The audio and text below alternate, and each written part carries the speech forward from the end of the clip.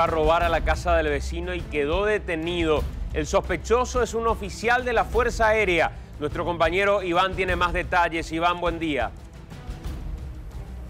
Buen día, Santiago. Esto ocurría anoche en la ciudad de Luque y así como bien decías, un vecino, un, eh, un, ciudadano, escucha un ruido extraño, se levanta y encuentra justamente a la persona que vive al lado de su casa, un, un capitán de aviación que estaba intentando perpetrar un robo, fue denunciado por tentativa de hurto. El hombre estaba aparentemente bajo los efectos del alcohol o algún tipo de sustancia porque no podía quedarse en pie ni siquiera. Fue detenido por la policía, en este momento ya está aquí en la comisaría 52 de la ciudad de Luque. Está conmigo el jefe policial, le vamos a pedir los detalles, pero antes podemos ver el video que graba este vecino que realiza la denuncia, identifica plenamente a este capitán de aviación en un intento de hurto en su propia casa. A ver, escuchemos, veamos. De la, este es el oficial de la Fuerza Aérea.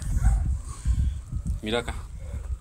Que recientemente entró acá en mi casa a querer hurtar. Gracias a los vecinos. Este se le pudo atajar. Em, lastimosamente, gente que no sé qué pensar, pero una lástima de el actuar de este señor. Este es el oficial. Bueno, este es el video entonces, Iván, que terminan grabando en el que atribuyen a este oficial de la Fuerza Aérea. Así es, incluso tenía su uniforme de la Fuerza Aérea, es eh, capitán de aviación José Carlos Medina Delgado, de 39 años, pero vamos a pedirle los detalles al comisario Alcides Benítez Torres, que está con nosotros. De hecho, este efectivo militar está aquí en la comisaría, en este momento durmiendo, comisario, pero ¿cuáles son los detalles que tenemos sobre esto que ocurría anoche? Justamente la víctima en ese caso anoche llamó a esta dependencia policial eh, comunicando el, que tenía un supuesto ladrón eh, dentro de su domicilio. Personal este inmediatamente se constituyó en el lugar y efectivamente encontraron a esta persona maniatada ya reducido por el dueño del local, en este caso la víctima. ¿verdad? Comisario, ¿este hombre estaba armado? ¿Qué es lo que refirió la víctima también al momento de hacer la denuncia? No, no, no estaba armado. Estaba con el uniforme en sí, así, pero como se ve en el video, totalmente en estado de ebriedad.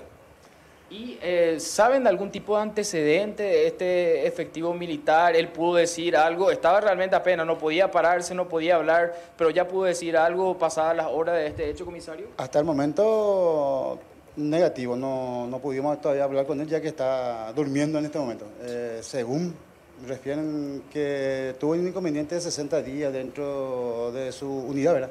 Y justamente estaba saliendo de, esa, de ese castigo que tuvo dentro de la unidad. Es decir, estaba él en el penal de Viñascue, apenas probablemente recupera su libertad y ya ingresa de esta manera a la casa de su propio vecino. ¿Se sabe cómo ingresa, si forzó algún acceso o trepó directamente? y según los detalles eh, violentó la entrada principal del portón para ingresar, eh, según refiere también la víctima. La denuncia entonces por tentativa de hurto queda, ¿esto cómo, cómo avanzaría, comisario? Y ya a disposición de la Fiscalía, ya se comunicó, ya está todo a disposición del Ministerio Público.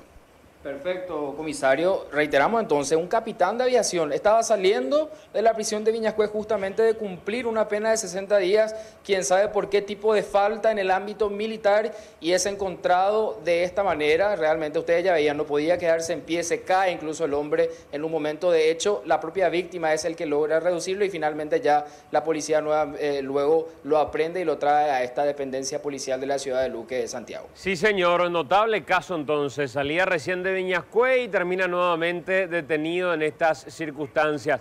¿Está durmiendo entonces el hombre ahora, Iván? ¿Estaba borracho? ¿Qué pasó con él que sigue durmiendo plácidamente? Sí, intentamos justamente para ver si él daba alguna versión, alguna explicación sobre qué hacía en la casa de su vecino y efectivamente está durmiendo. De hecho, el video realmente se ve claramente que estaba en estado de ebriedad o algún tipo de, sustancia y hasta el momento no se está logrando recuperar. Seguramente cuando despierte va a poder dar algún tipo de explicación a este hombre. Bueno, señor, muy amable, gracias Iván. 7 con 24.